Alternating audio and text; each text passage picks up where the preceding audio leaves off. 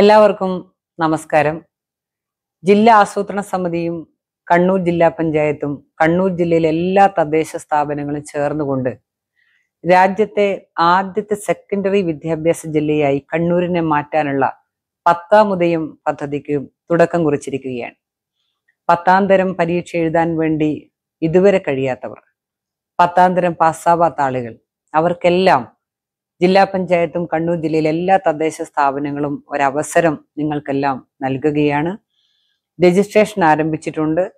കുടുംബശ്രീ പ്രവർത്തകരാവട്ടെ തൊഴിലുറപ്പ് തൊഴിലാളികളാവട്ടെ ഏത് മേഖലയിലുള്ള ആളുകൾക്കും പത്താം തരം എഴുതാൻ വേണ്ടി താല്പര്യമുള്ള മുഴുവൻ ആളുകൾക്കും രജിസ്ട്രേഷന്റെ ഭാഗമായിട്ട് മാറാം.